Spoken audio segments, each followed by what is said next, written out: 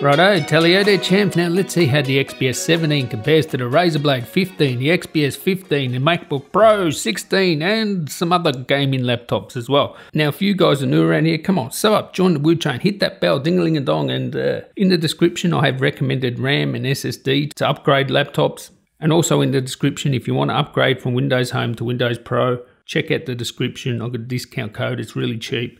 You can also get Office 2019. Of course, this is not a gaming laptop, but it has a graphics card. Let's game. And I do have to say here that I'm actually really impressed with this. How thin, how light this thing is. That vapor chamber inside really does make a difference and it's, you know, quite a bit better than the XPS 15 in terms of thermals and how much power it can sustain. And of course, you'd expect that a bigger laptop and having a vapor chamber and all, but yeah, it's really good. Now we'll have a little chat about it. We're going to run through the benchmarks. They'll be coming compared to all those laptops I mentioned before. And of course, you can see the telemetry and thermals on the screen. Let's talk about that for a sec. Temperatures, well in control. I didn't see any temperatures really going into the 90s other than, you know, briefly just touching there. And that was more along the lines of when it was sort of boosting. I'll try and put a video up right now where you can see that actually happening. You'll see that it's at 45 watts, which isn't in its steady state, and the temperatures will get into the 90s and the clock will go down from, you know, 3.9 down to 3.5. That was only happening in its boosting state and only in Battlefield 5, of course. Once it got locked into its sort of steady state, which is about 35 watts CPU, 50 watts GPU, then it wasn't really throttling or anything like that at all. It would stay steady at those sort of temperatures, which were, you know, CPU in the 80s, and the former mentioned sort of power. So that's pretty good when you think about it. 35 watts CPU, 50 watts GPU in a thin and light premium package with temperatures well in check. The actual noise of it, it's just over 52 decibels around there. So it's not super like gaming laptop loud like some of them can be, but it's marginally louder than the XPS 15 or the MacBook Pro 16 and actually around the same as the Razer as well because the Razer is actually fairly quiet for a gaming laptop. Skin temperature was fine, no issues there.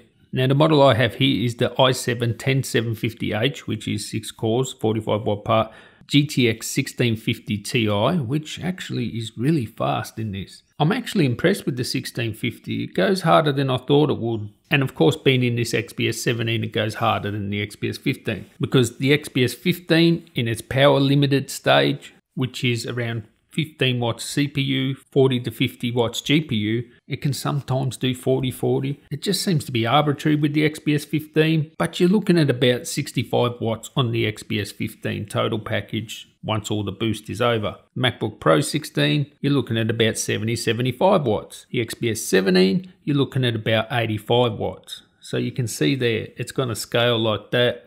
What about battery drain? Well, I got a tiny bit of battery drain it is a 130 watt package. You seen in yesterday's video if you watched that, it would boost up to 184 watts when you're boosting CPU and GPU at the start, okay? 184 watts, it's a 130 watt brick. It's to drain from the battery at that point. But remember, this is a boost stage. Boost stages don't last that long. So coming down to 85 watts, it's to be on the limit, right? Usually something with a 2060 in it and if you want to know what the 2060 model would perform like in this XPS 17, sort of look at the TUF in the benchmarks. It'll be close to that, maybe a bit less. But when it comes to battery drain, I told you a little tiny bit of battery drain when I was gaming. Jarrod from Jarrod's Tech, you probably know who he is. He was saying he wasn't getting battery drain until he increased the power limit. I have people in the comments saying they have a 2060 in the 8 core model. The first one drained from the battery, got a replacement unit, and it was fine. There was no power drain. So he's saying it's not the power brick. Notebook checker saying it's the power brick. The power bricks aren't supplying enough power, and that could be a thing, right?